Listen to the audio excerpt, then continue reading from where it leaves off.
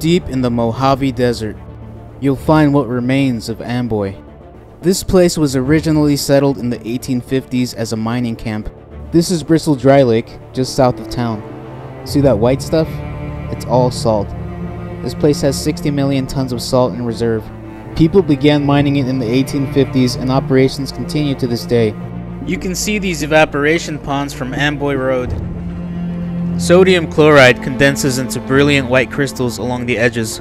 The greenish water left behind is a concentrated solution of calcium chloride. The town was officially established in 1883 when Union Pacific built some tracks through the area. Nobody really seems to know why the name Amboy was chosen. Route 66 was established in the 1920s, connecting Chicago to LA. It directed traffic right through Amboy. The town boomed. Three large service stations and several other businesses opened up. Roy's is the only service station that hasn't been demolished. It was built by Roy Crowl in the late 30s, early 40s. He ran it with his wife, daughter, and son-in-law.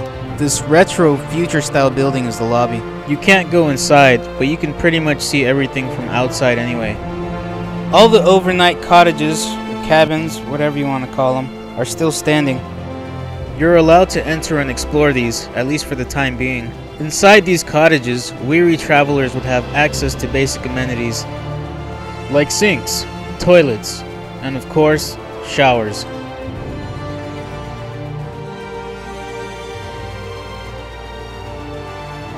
The furniture is left over from movie sets. We'll get to that in a bit. These additional rooms were built in the 50s to accommodate an increase in travelers after World War II. Roy's Cafe was initially a storage room, but Roy's daughter Betty quickly turned it into a cafe. Some of the gas pumps are operational and some of them aren't. Due to a lack of clean water, the kitchen is closed these days. The cafe is more like a gift shop. There are plans to install a reverse osmosis system and reopen the kitchen in the future. At its peak, this town had over 260 residents. So what exactly happened? In 1973, Interstate 40 opened, causing some parts of Route 66 to be bypassed and largely abandoned. Overnight, the town quickly began to die. The Amboy School is located right next to Roy's. This building is the original schoolhouse, built in 1903. The school was located much closer to the tracks in those days. This structure would later be physically moved to its current location. After being moved, it was used as a community center. Next to the original schoolhouse, you'll see these, the newer school buildings.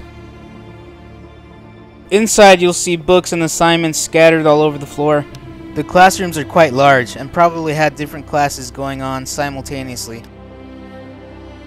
At its peak, Amboy School had over 60 students, 4 teachers, and a principal. Now it's just a big bird cage. It also has a schoolyard out back. Next to the schoolyard are the houses where the teachers lived. Amboy also has an airstrip dating to the 1920s. It's unregulated, so anyone can land here. In fact, pilots often fly their small private aircraft to Amboy, just for fun. Roy's daughter Betty was an accomplished pilot. This is a hangar where she used to store her plane. Despite Amboy currently having no homes, it does have a working post office. This is St. Raymond's Catholic Church, built in the 1940s.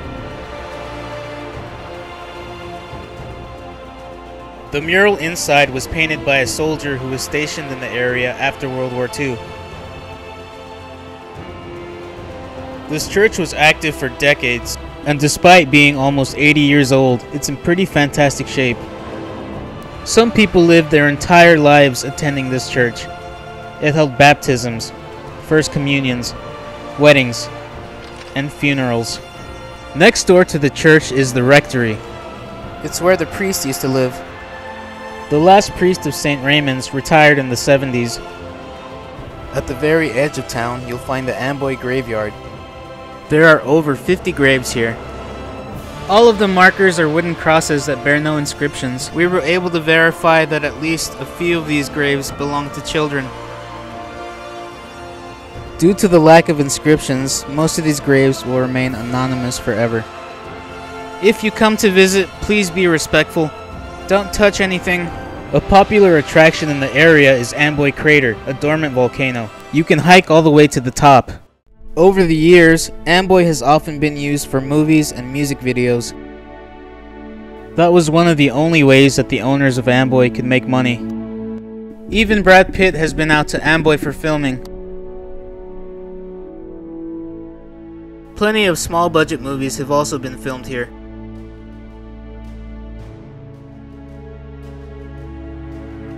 One of Enrique Iglesias' most popular music videos takes place in Amboy.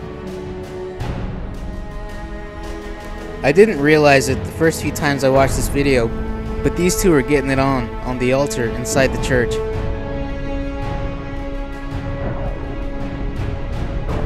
In 2003, Amboy was listed on eBay for $1.9 million.